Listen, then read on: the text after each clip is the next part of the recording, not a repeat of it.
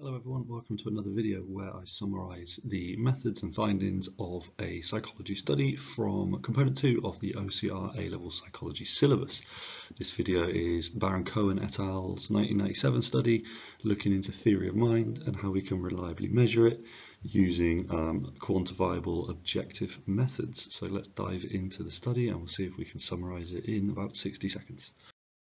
This experiment was a quasi-experiment that used a matched pairs design matching on age and IQ. There were 76 participants in total, 15 neurotypical adults, 16 people with autism or Asperger syndrome, and 10 people with Tourette syndrome to act as a control group. The IV, therefore, was the type of participant, and the DV was the score of out of 25 on the eyes task. You saw an example on the last slide, black and white pictures with multiple choices about the emotions displayed in pairs of different eyes. Participants were shown photos of those eyes for three seconds each and then had to choose between two opposing emotions. Uh, they also took a strange story stories test, which measured like sarcasm and irony, and two other control tests as well.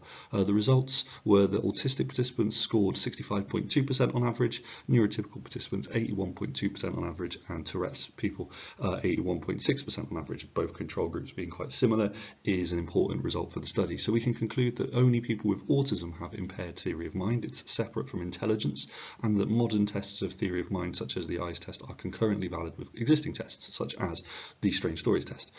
Uh, in evaluation, we can say that there's high validity because of the quantifiable data, especially when compared to Freud.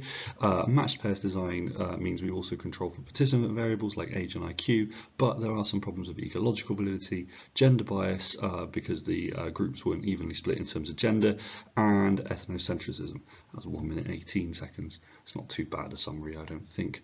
Um, do you think this is a good study or do you disagree? Personally, the eyes have it, but get involved in the comments if you have any other questions or comments on this piece of research. Thanks very much for watching. Subscribe if you'd like to see more and also let me know in the comments if you'd like me to offer any other resources on this channel other than just summaries of uh, studies from component 2. Thanks very much for watching. See you again. Cheers.